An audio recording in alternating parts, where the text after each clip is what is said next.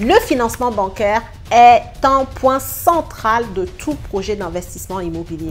Je pense qu'ici, on est tous d'accord là-dessus. On est également d'accord aujourd'hui, à peu près tous, pour dire que le financement bancaire aujourd'hui est plus complexe, plus compliqué, plus prenant qu'il y a quoi 4 ans en arrière. Mais alors, comment font certains pour quand même enchaîner leurs investissements malgré les restrictions bancaires? Comment font certains investisseurs pour aller trouver quand même leur financement et continuer de multiplier leurs acquisitions immobilières? Je vais te donner l'un de leurs secrets dans cette vidéo. Si c'est un sujet qui t'intéresse, je t'invite donc à regarder cette vidéo jusqu'à la fin. Bonjour à tous et bienvenue sur cette chaîne destinée à l'investissement immobilier. Je suis Céline Médéou, épouse d'Orizo. Je suis une immopreneur, une personne qui fait du business avec l'immobilier. C'est ce que je t'apprends à faire au travers de mes contenus sur cette chaîne, également au travers de mes formations et de mes accompagnements. Si c'est un sujet qui t'intéresse et que tu ne l'as pas encore fait, je t'invite tout de suite à t'abonner à la chaîne et surtout active ta cloche de notification pour ne pas rater mes futures publications. Et la deuxième chose, tu regardes en barre de description de cette vidéo, tu trouveras un lien vers ton cadeau de bienvenue, les 10 commandements de l'investissement immobilier rentable. Un e-book très facile à lire pour toute personne qui démarre dans l'investissement immobilier pour comprendre les fondamentaux de ce qui fait qu'on puisse gagner de l'argent grâce à l'investissement immobilier.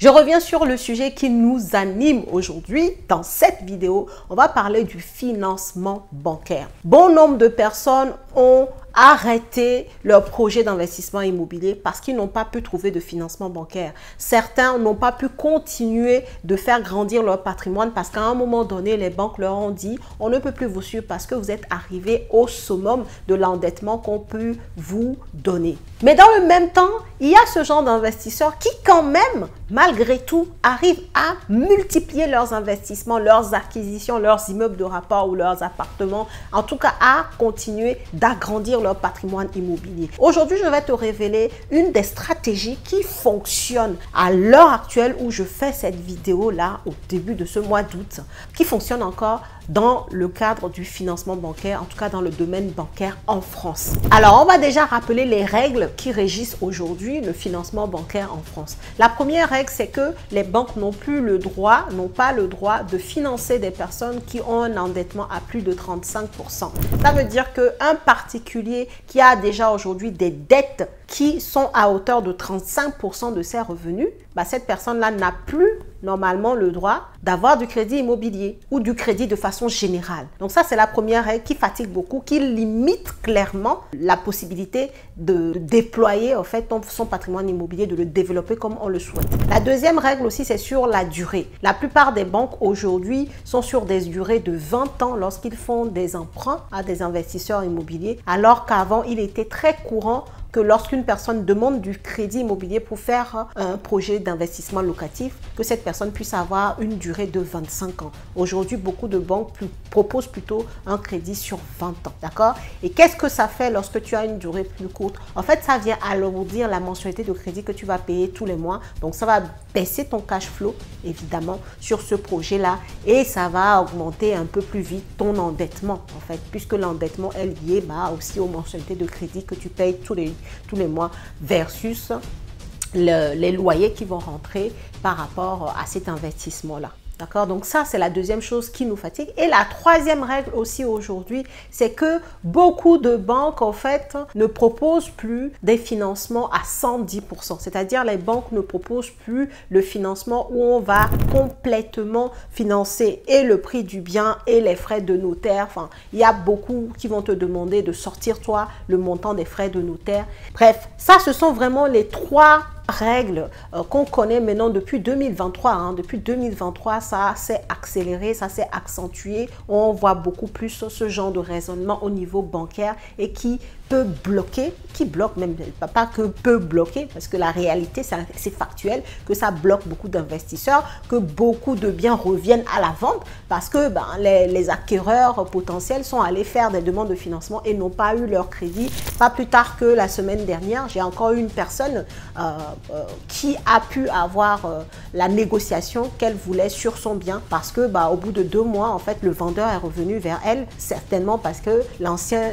acquéreur n'a pas pu trouver son financement. Et donc, lui qui avait proposé 110 000 euros pour son immeuble de rapport au lieu d'un prix affiché de 126 000 euros, euh, finalement, le, vendeur, au bout de deux mois, est revenu vers lui parce que bah, il ne trouvait pas certainement un autre acquéreur, ou en tout cas l'acquéreur qui s'était porté euh, volontaire, qui avait signé son compromis, n'a pas trouvé son financement. C'est une réalité, en fait. Mais comment est-ce que ça se fait qu'il y a certains investisseurs qui arrivent quand même, malgré cette actualité que je viens de te peindre, ces faits que je viens de te donner, malgré ça, il y a des personnes qui arrivent toujours à multiplier leur investissement. Le secret de ces investisseurs qui arrivent à multiplier encore leurs acquisitions aujourd'hui, c'est de ne pas se diriger vers les banques classiques, mais plutôt les banques d'affaires, les banques Quand je parle de banque classique, je parle de banque de dépôt, là où tu vas déposer euh, tes revenus, ton salaire, euh, créer, euh, ouvrir un compte épargne. Ce sont les banques classiques, les banques de, de dépôt.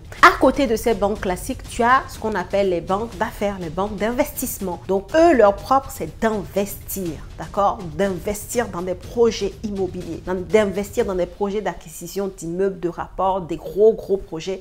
Elles sont là pour gagner de l'argent. Et elles ne prennent pas, par exemple, des comptes bancaires chez eux. C'est-à-dire, quand une banque d'affaires te fait un financement, tu ne vas pas ouvrir un compte chez elle pour que les loyers rentrent. Tu ne vas pas rapatrier tes revenus chez elle. Non. Elle investit dans ton projet et ensuite, bah, en fait, tu vas lui fournir un RIB pour qu'elle puisse tous les mois récupérer euh, la mensualité de crédit qui a été fixée dans l'offre de prêt. Donc, c'est la différence fondamentale entre ces deux, deux types de banques.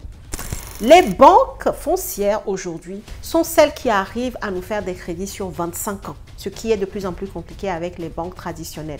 Les banques foncières ou les banques d'investissement sont celles aujourd'hui qui arrivent à nous faire du financement à 110%. Aujourd'hui, en ce début du mois d'août encore 2024, les banques d'affaires font des financements à 110%. C'est-à-dire une banque d'affaires peut te financer le prix de ton bien, les frais de notaire, les frais connexes autour de l'ordre de 10%. Donc tu as vraiment 100%, donc le prix du bien 100% plus 10% de frais autres que la banque foncière va te financer.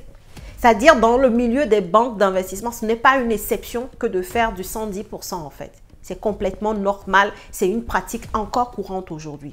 En banque d'affaires, en banque foncière, tiens-toi bien, et c'est là où ça explose tout par rapport aux banques classiques. La notion du 35% d'endettement n'existe pas. Je répète, la notion de taux d'endettement à 35% n'existe pas. Quand tu arrives chez une banque foncière, il te suffit d'avoir un taux d'endettement en dessous de 40%. Ils ne sont pas sur 35%, mais 40%. Si tu arrives avec un taux d'endettement à 39,9% ou 39,99%, la banque foncière va te financer ce premier projet avec eux. Et là où c'est extraordinaire de travailler avec les banques foncières, c'est une fois que tu as réalisé ce premier projet avec eux, avec un endettement euh, en arrivant à moins de 40%, pour ton deuxième projet, la banque foncière va te financer sans prendre en compte en fait euh, l'endettement qui aurait pu être créé à travers le premier investissement que tu as fait chez eux. Pour te donner un exemple simple pour que tu comprennes, tu arrives dans une banque foncière ou une banque d'affaires,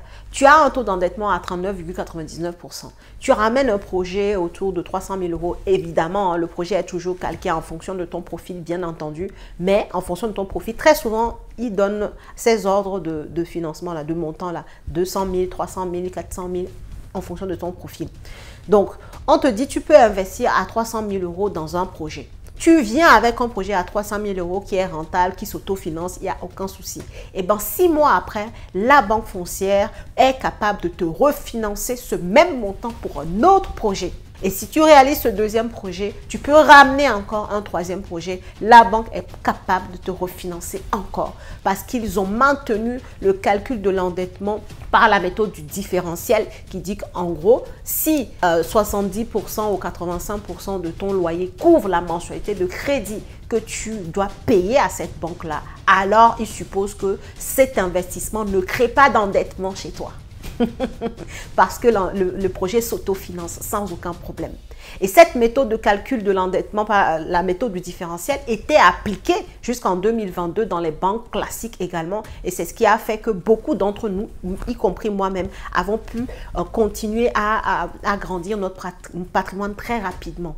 Et ça a été complètement supprimé dans les banques, classiques à partir de début 2023. Ça n'existait plus, la méthode de calcul de l'endettement par la méthode du différentiel. Et cette pratique est maintenue dans les banques d'affaires. Et c'est ce qui fait aujourd'hui que ces banques-là sont dans des sphères, en tout cas, sont très attrayantes pour des profils comme moi, des immopreneurs qui veulent multiplier leurs investissements. Maintenant, comment approche-t-on les banques d'affaires? Les banques d'affaires travaillent exclusivement avec des professionnels du financement bancaire. Ça veut dire les banques d'affaires travaillent avec les courtiers immobiliers, d'accord? Les courtiers en crédit immobilier. Elles ne travaillent pas directement avec les particuliers. Ce n'est pas comme une banque traditionnelle où tu vas appeler une agence de ta ville et dire oui, je veux prendre un rendez-vous parce que j'ai un crédit, j'ai un projet immobilier. Non, en banque d'affaires, il te faut passer par un professionnel qui a du réseau en banque d'affaires. Parce que ce n'est pas tous les courtiers qui travaillent euh, avec euh, les banques d'affaires. Et le même courtier ne peut pas être en partenariat avec toutes les banques d'affaires ou les banques foncières, en fait. Donc, il faut que tu aies les bons contacts en termes de professionnels du financement pour pouvoir avoir accès à ces banques d'affaires-là. Et la bonne nouvelle pour toi, puisque tu es sur la chaîne d'une personne qui est dans l'immobilier depuis des années et qui s'est créé du réseau, c'est que le 26 octobre, lors de notre événement, tu vas pouvoir avoir accès à ce genre de professionnels du financement qui travaillent avec les banques d'affaires qui ont des partenaires euh, en banque d'affaires, qui peuvent te permettre d'avoir une ouverture dans les banques d'affaires, qui peuvent défendre ton projet en face d'une banque d'affaires pour que toi aussi tu, puisses rentrer dans ce monde-là, qui est très peu connu. Quand on parle de banque d'affaires, de banque foncière, aujourd'hui, monsieur et madame, tout le monde ne connaît pas, puisque la majorité des personnes ne connaissent que les banques classiques alors qu'il y a un autre monde. Quand je te dis que la connaissance est le fondement de la réussite, c'est là encore une preuve en fait.